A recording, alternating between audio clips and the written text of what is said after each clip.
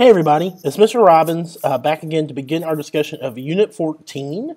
So now we are kind of in the 1970s. We're getting to a part of uh, what historians would call pretty recent history. To you guys, it's still ancient history.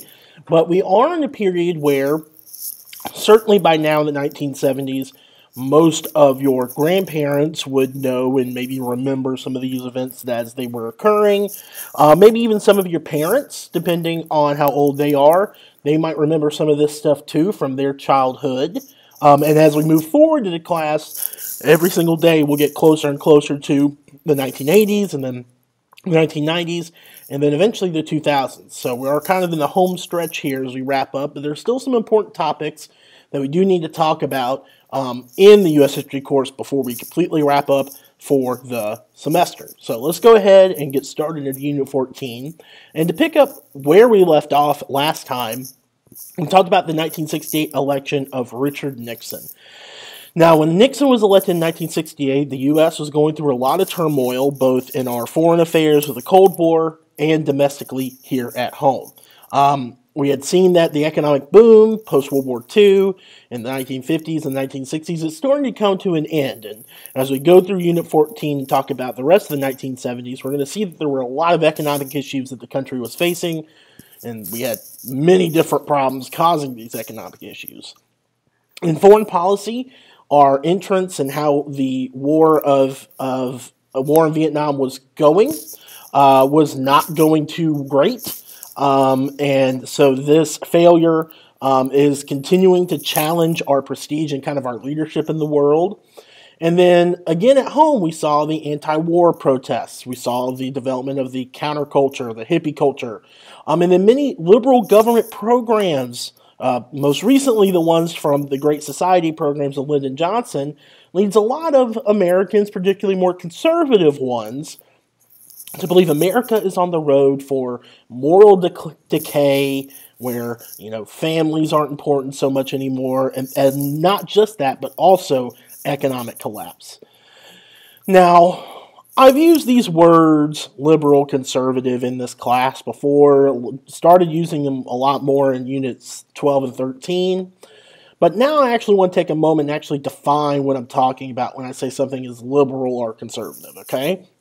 Now, in not just our political system, but in political systems across the world, we typically kind of think of them as uh, the spectrum. And we use these terms left and right, liberal and conservative to describe them. All right. Now, left and right, this idea comes back from way, way back in time during the French Revolution, where the more radical folks that wanted a lot of change, they sat on the left side of the chamber uh, during the revolution, and the folks that were more conservative and didn't want a lot of change, they sat on the right side of the chamber. Uh, and so when we use these terms and these directions, we're basically kind of is a shorthand. So if we say someone's on the left, they're more willing to be looking for like new solutions to problems. They're willing to kind of change things, um, even if that means tossing out some ideas that we used to like in the past. Whereas if we say someone is on the right, that means that they are generally more conservative and they are much less willing for changes. They usually see problems with changes and how that might affect traditional culture and traditional structures. Okay? Now, when we dig down into this, we can see that our presidents kind of represent, you know, usually one side or the other, with some of them kind of coming in between. Now, the one that we could talk about that's probably most relevant at this point on the left to start would be Franklin Roosevelt. Of course, Franklin Roosevelt and his New Deal program, which, which were completely new, completely made up, and intended to fix the problems of the Great Depression with big government programs, would definitely put him on the left side of the spectrum. Harry Truman, his successor, would also kind of fall on the left side of the spectrum as he during his time as president, at least continued a lot of the New Deal programs. He did try to implement new ones, but they didn't get passed. Now, on the right, we would have President Eisenhower, who uh, did not propose a lot of new social programs to help folks. Um, he did do, uh, he did continue many of the New Deal programs like Social Security and whatnot, but he certainly didn't propose any new ones and no major changes to how the government worked during the 1950s. Uh, we would argue that both President John F. Kennedy and certainly his successor, Lyndon Johnson, would be on the left.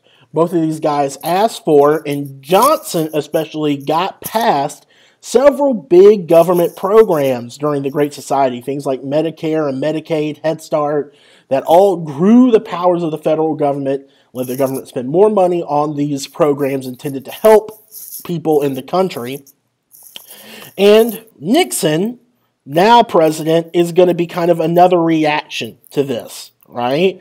And we see that by the 1968 election with all of the craziness going on in the country there was a large group of Americans who really did listen to Nixon and what he had to say resonated with them. And this would be the so called silent majority. Okay? Now, Nixon coined this term silent majority to, to refer to the Americans, and he said it was the majority of Americans, right? So, most Americans who don't go out and protest, don't go out and, you know, um, do riots or anything like that, but not even that. They might not even publicly announce what their political beliefs are. They might not want to ever talk about politics in public, okay? Because they think it's uncivil. And these folks who, as Nixon would say, their primary uh, responsibilities are to go to work, take care of their kids, take care of the house. A lot of these folks, they want a more conservative government. They don't want all these major changes that uh, increasingly liberals in the Democratic Party are trying to push through. And this is one of the reasons Nixon will win in 1968. Now, to this point, Nixon will implement several conservative policies uh, domestically in domestic policy. Um, now, this didn't mean that Nixon wanted to throw out and get rid of all of the Great Society programs. Some of them he did, but there were other ones that got reduced, so they were made smaller. Okay, so not such a big uh, a cost or such a big expansive program.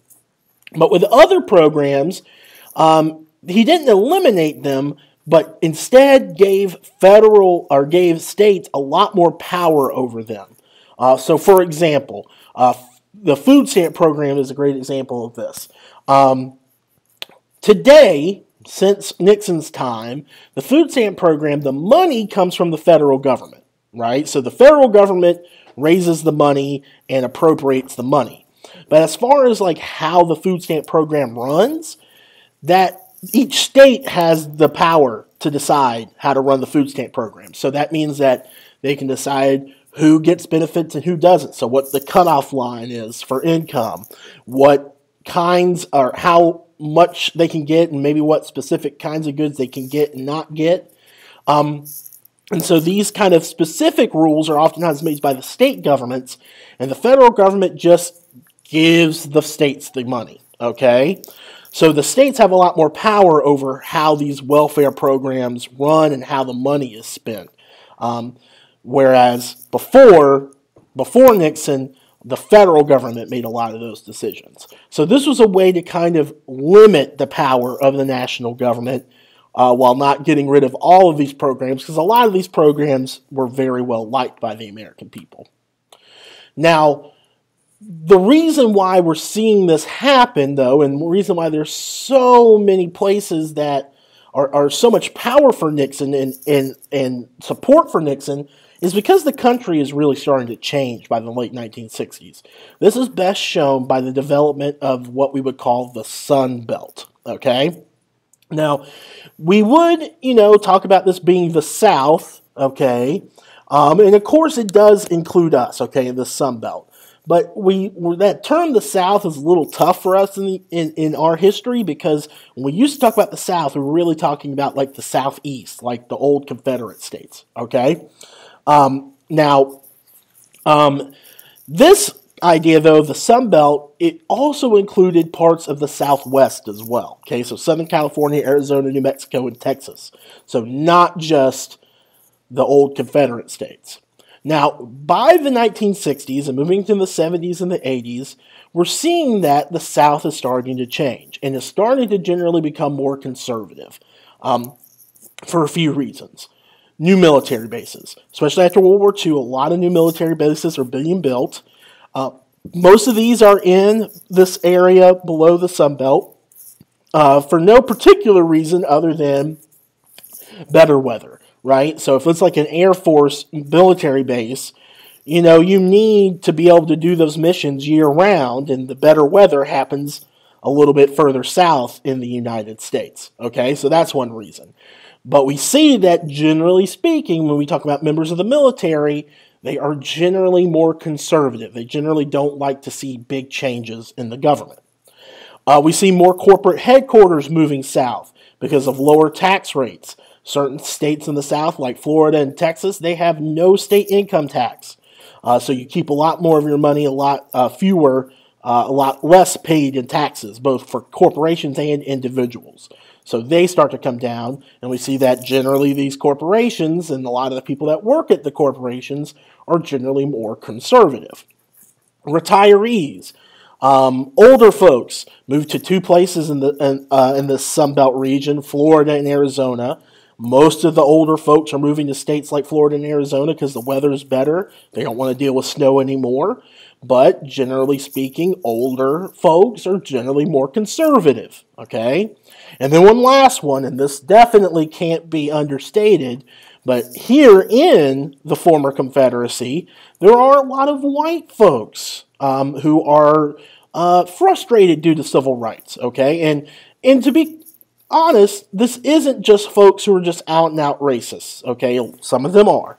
But others in this group, they think that civil rights has gone far enough, and as the civil rights movement is beginning to change, and becoming a little bit more radical, some white folks in the South are starting to kind of push against it, okay? And they push against programs like busing programs to kind of move um, uh, students far away from their local home school to make segregated or to make desegregated integrated schools.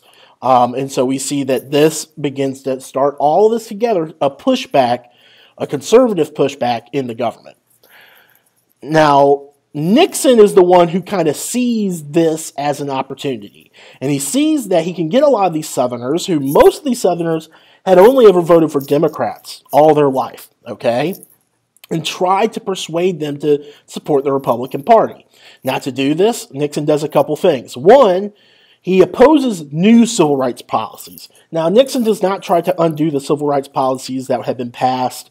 He doesn't try to reinstate segregation. That's not really, you know, something he could even do if he wanted to.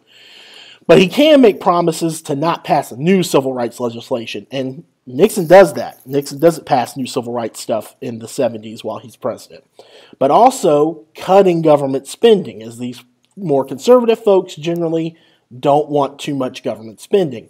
And he is able to start getting Southerners to support the Republican Party, which is pretty crazy given that most Southerners had only ever voted for Democrats from before and then after the Civil War. So we start to see the Sun Belt change from liberal to conservative. So let's look at a few of presidential elections. So this is the 1940 presidential election, uh, uh, which was between uh, Franklin Roosevelt running for his third term as president versus Republican Wendell Willkie. We see that uh, below that yellow line, the Sun Belt, easily Roosevelt wins most of the counties south of that yellow line. So we see that generally they are supporting a more liberal candidate and FDR. Eight, we move forward eight years. We see it. This this is when Truman is running for his own term as president against the Republican Thomas Dewey, uh, with an important third party candidate, Strom Thurmond, Senator Strom Thurmond from South Carolina, running as a Dixiecrat. He's running as a uh, kind of as a Democrat, but one that is pro segregation. Uh, and uh, Thurmond is kind of leading this because of, of actions that Truman took to kind of integrate the military, among other things. A few southern states go towards Thurmond, but most of the southern states still go to Truman. Truman wins in 1948. Now, 1960. You see that this is Kennedy versus Nixon. We talked about this at the beginning of Unit 13. Now, Kennedy still wins most of the southern states. He wins uh, Georgia, Alabama, he wins Texas, but you see, it's not nearly so much of a slam dunk.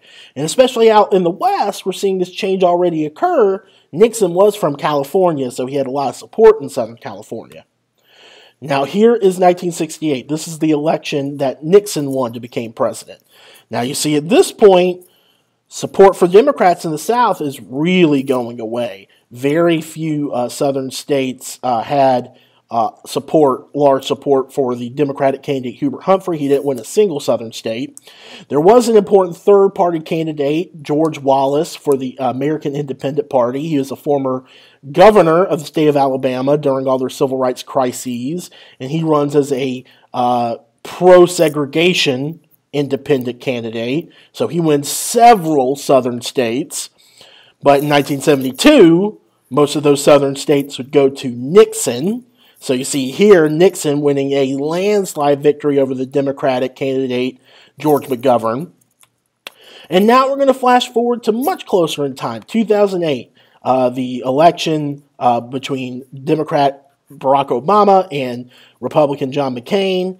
By this point, you see that with a few exceptions, large parts of the South are now firmly in a Republican column.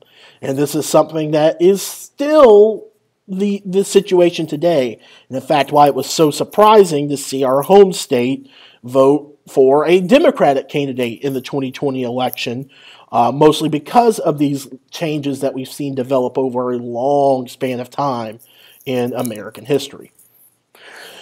Now, we're going to change our focus from domestic policy now to foreign policy, where Nixon has a lot of, of influence domestically, but his foreign policy is a much bigger deal while he's president.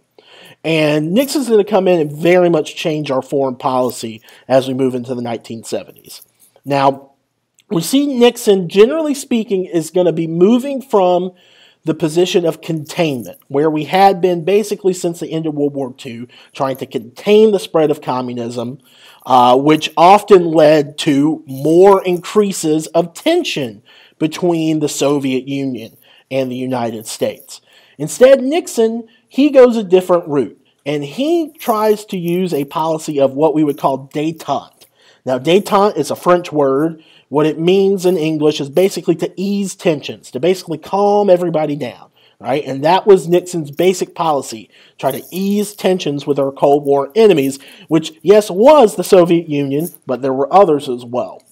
Now, the guy probably most helpful in developing this policy would be uh, uh, Nixon's national security advisor, Henry Kissinger, who does a lot of the work to kind of organize this foreign policy and you know visits with leaders across the world.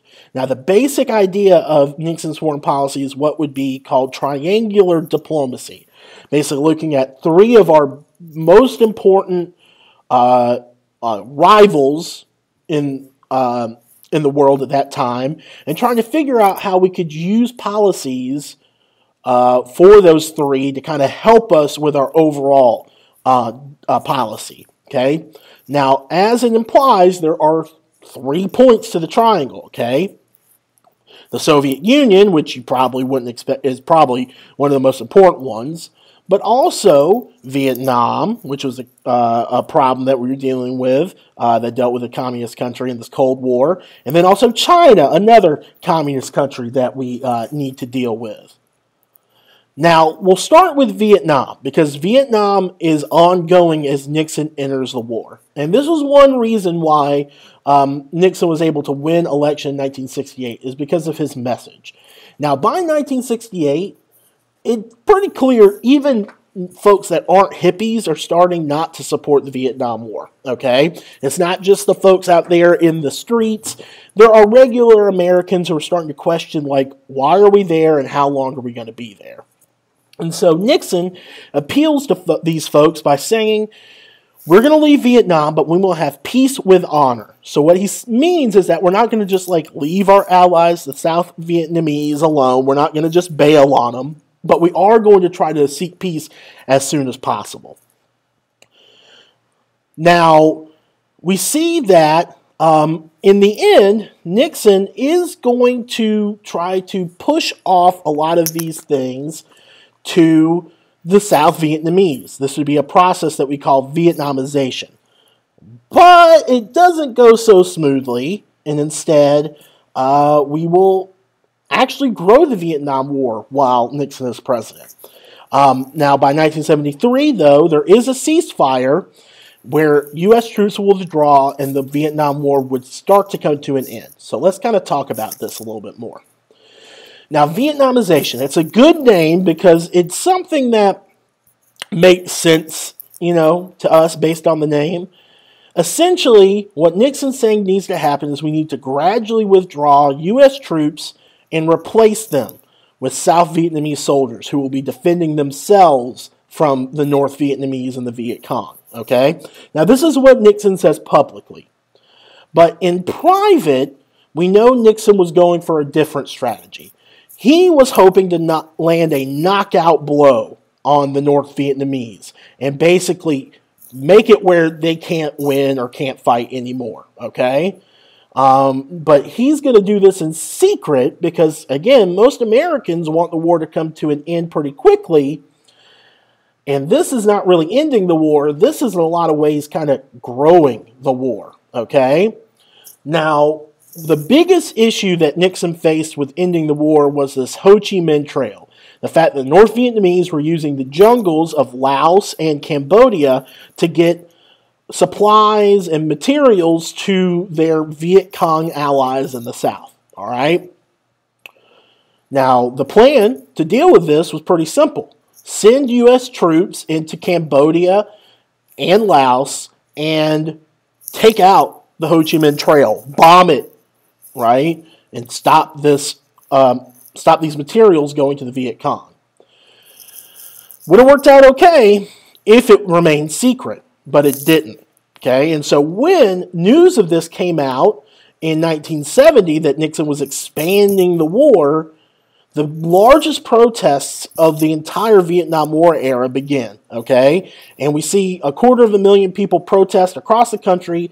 It's still mostly focused amongst young people on college campuses, but it is very wide and across the country. And some of these turn violent. And we mentioned this at the end of Unit 13.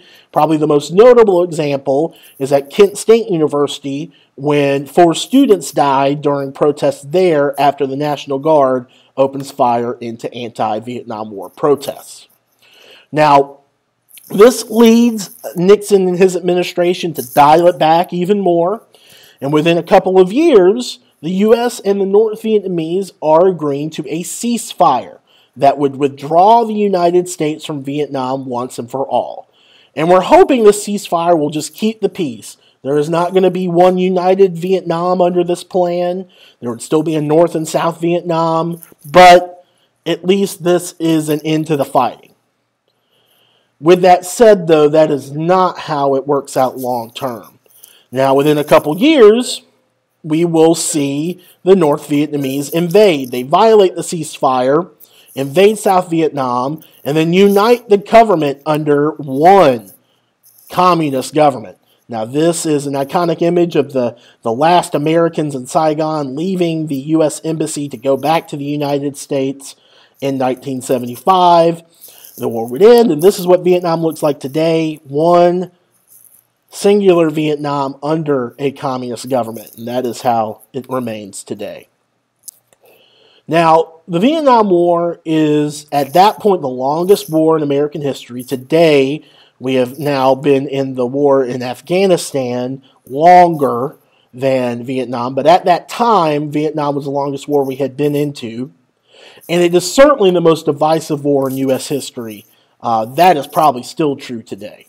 Uh, this is something you may may recognize if you've ever been there to Washington D.C.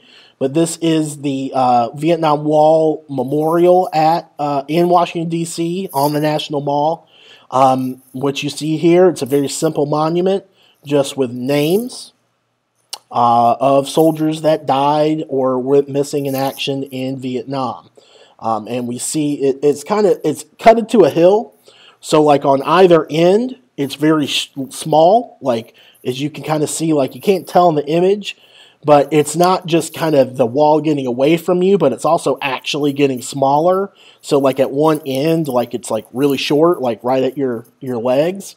But eventually, as you get into the middle, the wall is really big. And what it represents is at one end, the first Americans to die in Vietnam starting in the 1950s, and at the other end, the last few Americans to die in Vietnam in the, the mid 1970s. And then the middle is around 1968, where the most Americans would be dying in Vietnam. Very, very moving uh, memorial. And if you ever go to Washington, D.C., I would definitely say check it out.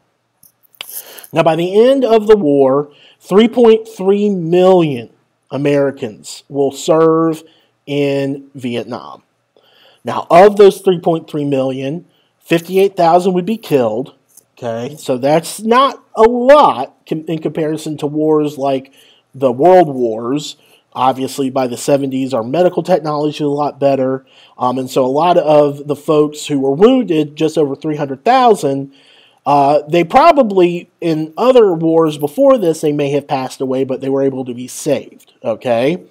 Now, with that said, though, that does not mean that the wounded nor the folks who come back physically okay are actually totally okay. We see that around 15% of Vietnam vets will be diagnosed with post traumatic stress disorder, PTSD. It's very possible more than 15% had it um, as we start to understand the impacts of traumatic events like warfare on human beings and our brains and how we think and how we react to stuff. Um, and we see that the vets, some of them face hostility. Uh, there are stories of, of vets being spit on as they come home. Those are a little bit more apocryphal, like there aren't great examples of that. But also at the same time, the vets are not treated like heroes, like the guys coming home from World War II were. Um, and a lot of them come back with problems.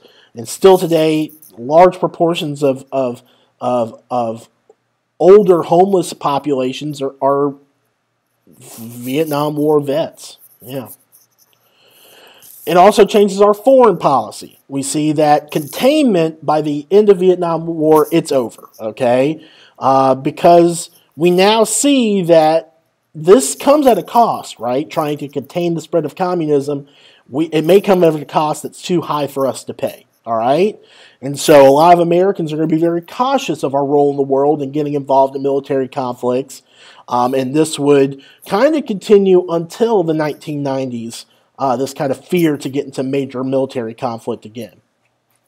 We also see Congress kind of stepping in and saying, listen, we need to limit the power of the president a little bit. Um, and so in 1973, they passed the War Powers Act, which would limit the president's ability to send troops without a declaration of war. Basically, what the War Powers Act would do is it would give the president kind of the ability to send troops at a moment's notice, like say like some craziness is breaking out in one of our allies' countries, like we could send troops, but the president must ask for official uh, approval from Congress within a month. And if Congress does not provide that approval, or the president doesn't get ask Congress for that approval, those troops have to come back home one way or another. Uh, and so this kind of limits the president's power just to send troops as they see fit. Now, here at home, we see that it's going to cause a lot of people to lose faith in the government because they're not really going to see the government as honest, right? And it started during the Johnson years where they said, hey, we're about to win the war, it's almost over. And then it was pretty clear, especially after the Tet Offensive, that that wasn't true. And then Nixon getting us involved and spreading the war into Cambodia and Laos secretly, but then getting found out, it makes a lot of people distrust the government. Okay? The war also cost a ton of money 160, uh, $176 billion. Um, that was a ton of money. Uh, it led to high inflation as um, our money became less and less valuable. So you had to spend more and more of it to get the same goods uh, at the grocery store. And it also led to major cuts in Lyndon Johnson's Great Society programs because of this economic these economic problems. Now, one good outcome of the Vietnam War would be that it makes it pretty clear that younger folks they probably need to be given the right to participate in government a little bit more, right? A lot of these younger folks on college campuses, most of them couldn't vote. because at that point, the, the, you had to be 21 years of age to vote. That would change with the 26th Amendment. That would lower the voting age to 18, making it where you could vote at the same time you could be drafted to go into war, although they do end the draft after the Vietnam War. Now, if we looked at just that, you may perceive Nixon as a failure. But I want to be clear Vietnam didn't fall, South Vietnam didn't fall until after Nixon left office. And so, actually, a lot of these next couple things that happened in Nixon's time as president in foreign policy are remembered pretty well. Let's talk about China now.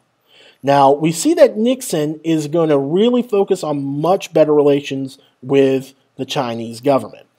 And in 1972, he does something pretty crazy, and he visits China, the first president ever to visit uh, the, uh, Chi- uh, the Chinese under a communist government. As you see, here's Nixon meeting with Mao Zedong, the, the founder of communist China.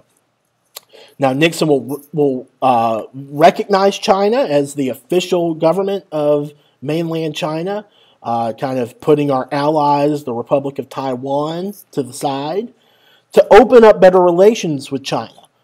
And this really worked. Okay? Now, it didn't happen all at once. But after Nixon visits China in 1972, we start passing trade deals with China to begin to trade goods back and forth. And this is something that has profoundly impacted us today because so many of our goods, like, you know, our cell phones and other electronics, but also clothing and so on, many of them are made in China. Uh, and that is when that began in the mid 1970s. Now, to be clear, though, it wasn't just about trade, although that's probably the biggest impact. But there was a clear reason why we were focusing on China. I'm not going to get too much into it, but by the 1960s, the Soviet Union and the Chinese are kind of coming apart. Now, you would think that they would be really close allies because they are both communist countries. But they had some differences in how their government was set up, and you know, there was some some rivalry there between those two as well. And this is where Nixon and Henry Kissinger see an opening. And they realize, like, hey, if we go in and try to get nice with China, that might force the Soviet Union to negotiate with us as well. Because at the end of the day, the most important thing to do is to try to ease tensions with the Soviet Union because they're the ones with the nuclear weapons. And this plan to kind of open up relations with China actually works. And after Nixon successfully visits China in 1972, the Soviets they feel like they have to negotiate as well. And so, uh, shortly afterwards, Nixon will end up negotiating with the now Soviet leader Leonid Brezhnev. There he is um, to negotiate.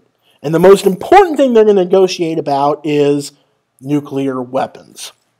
Now, that same year, 1972, Nixon is going to become the first president ever to visit Moscow.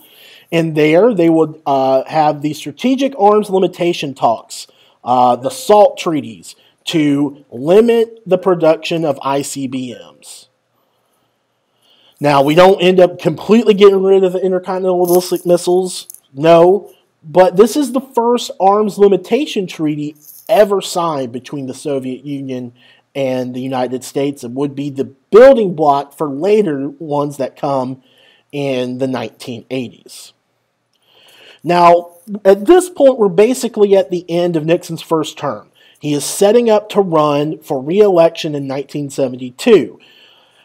And at the end of his first term, Nixon is pretty popular, okay? Now, we see those more conservative Americans, the silent majority, they are really happy about his domestic policies reducing government spending. Uh, and so more middle class, conservative, and Southern voters are really satisfied with that. But in our foreign policy, even some of Nixon's enemies really have to argue like he's doing a good job because the the war in Vietnam by 1972 is starting to come to an end. Um, and tensions with both China and the Soviet Union are decreasing, and so we're at a less threat of nuclear war.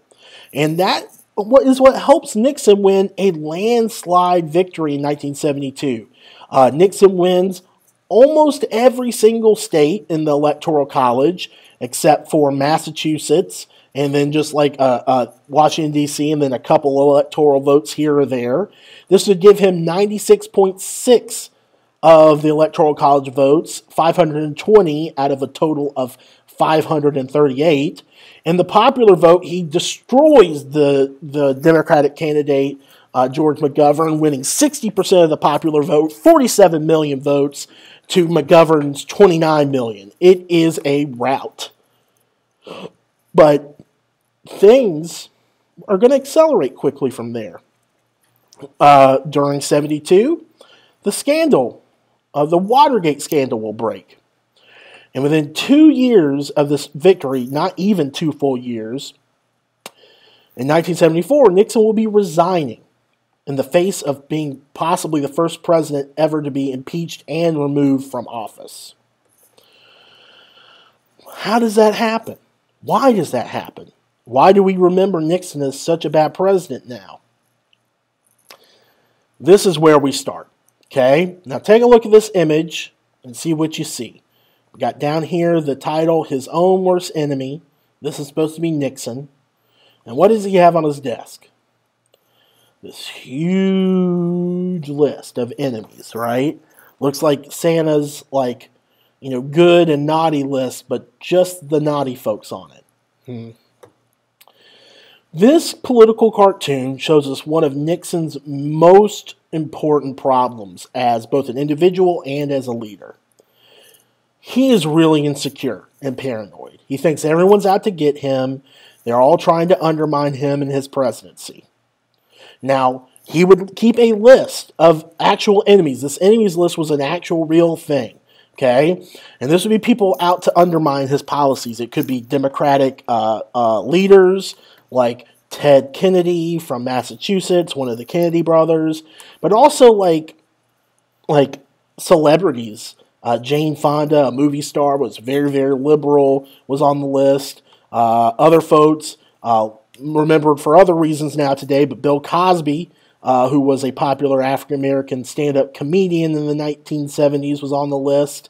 Again, remembered for different reasons today.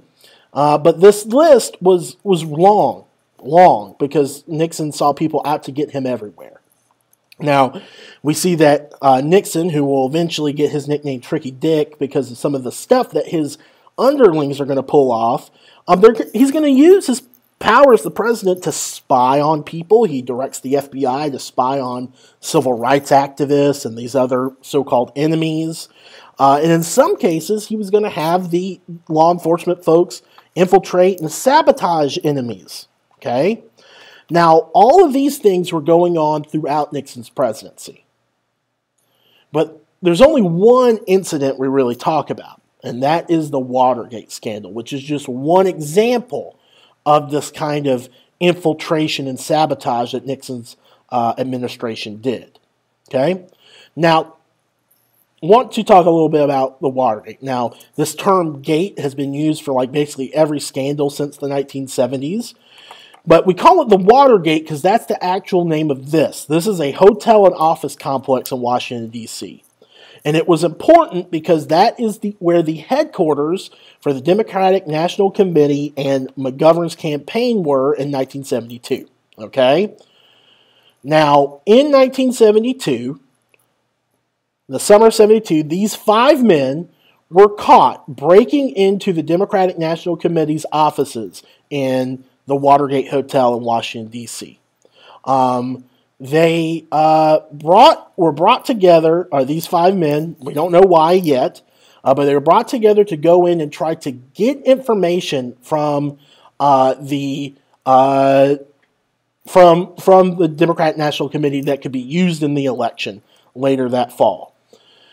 But they were very sloppy. They got caught by a security guard, and then these five guys got arrested. Now, when they were arraigned, where they were brought up on charges in front of a judge, the judge asked them, and judge asks, you know, stuff like this, like basic information, like, you know, who are you? What's your name? Who's your employer? And stuff. But these guys had some weird answers, okay? Turns out several of them are Cuban exiles that had left Cuba after Castro came to power. And a couple of them said their most recent employer was the Central Intelligence Agency, the CIA. What? Like former guys that work for the CIA are breaking into uh, office complex? What's going on? Now, in time, these five guys are going to be connected to this guy, G. Gordon Liddy. Okay? And now you're getting closer to Nixon. Uh, now, Liddy was uh, uh, connected to Nixon, had worked on Nixon's campaigns, and it turns out Liddy had gotten money from the Committee to Reelect the President, the President's Reelection Committee in 1972. And donations that Americans sent to uh, this committee, which was called CREEP for short, yeah, ironic, actually was used and sent to these uh, uh, five burglars uh, that were part of what Liddy's team called the Plumbers. Now, this is when the questions really start to arise. Like, okay, if Liddy knew about this break in, it seems like if Nixon didn't actually like approve this, at the very least, some folks much closer to Nixon had to know about it. And so then the focus turns to Nixon's inner circle, like his chief of staff, H.R. Haldeman, his chief domestic advisor, John Ehrlichman, his attorney general, John Mitchell, his counsel, John Dean. These guys, who are also really important in Nixon's reelection effort, they may have known about this. And now the question is, what do they know? Now, all of this information, all these connections, they weren't being made by our own government. Instead, they were being made by journalists, most notably these two guys, Carl Bernstein and Bob Woodward, who were both two young journalists at the Washington Post uh, during this period, uh, the early 1970s.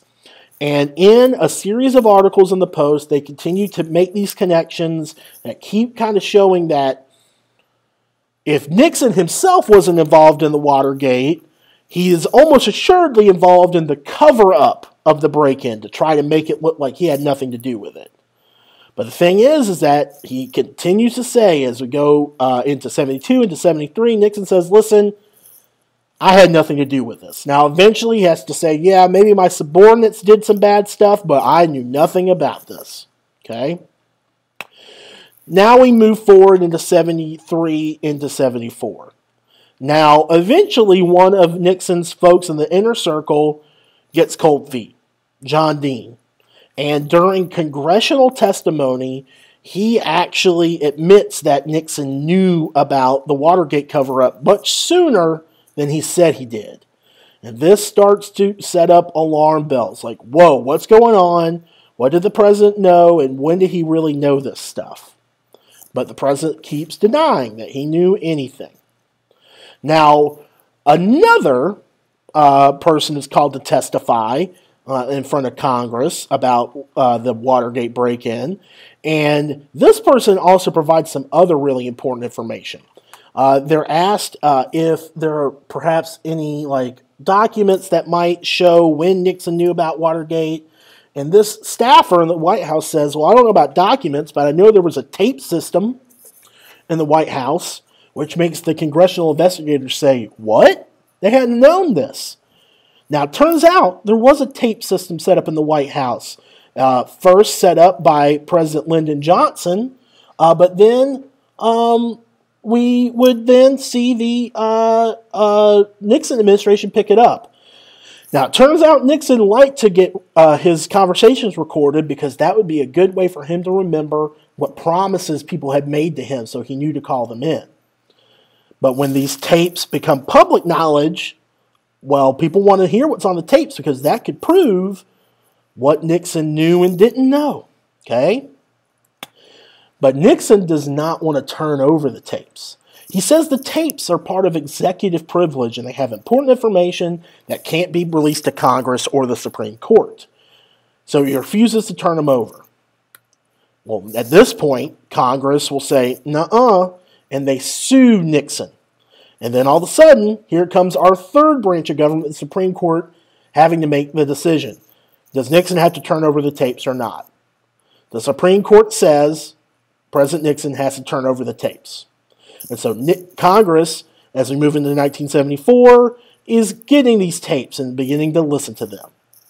Now, it takes some time to go through all the tapes, but it becomes pretty clear by the summer of 1974 that if Nixon, based on recordings, if he didn't know about the Watergate break in before the break in, he certainly knew about it right after, and he told his underlings to cover it up.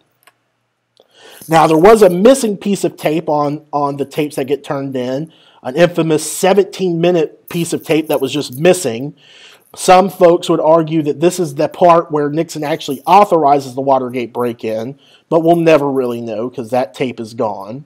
But it doesn't really matter because there's enough information to actually imply that Nixon, if he didn't say to break into the Watergate and get that info, he at least knew about it and tried to cover it up after the fact.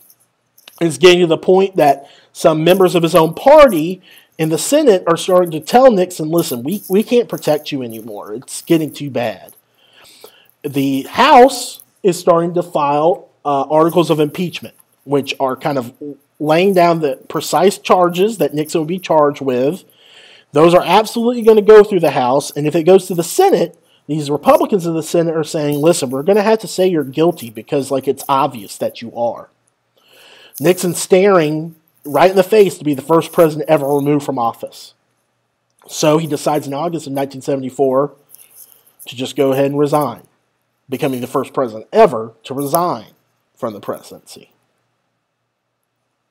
Now, with that, we're going to have a new president, President Gerald Ford. Now, Ford was actually an interesting character because Ford was not Nixon's first vice president. In fact, and this is not making this up, Nixon's original vice president had to resign. Now, his was for a different issue. He was not paying his taxes, and he almost got away with it until he got caught.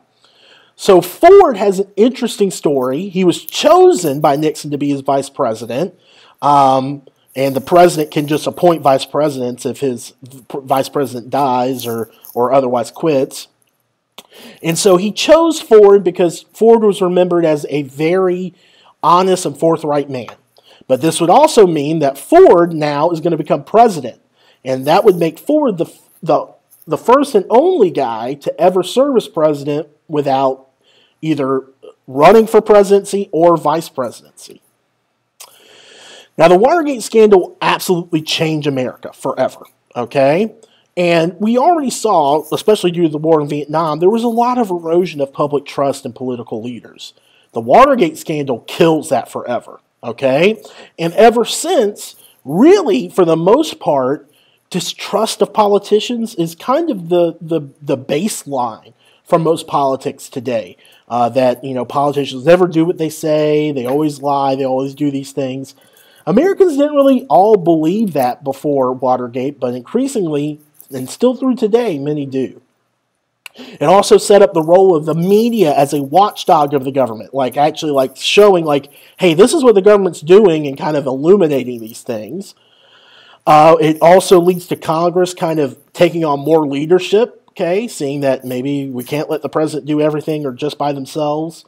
But there is one big piece of uncertainty as Nixon leaves office. Now, all these things, we were talking about whether Nixon should be removed from the presidency or not. That was all those impeachment articles were intended to deal with.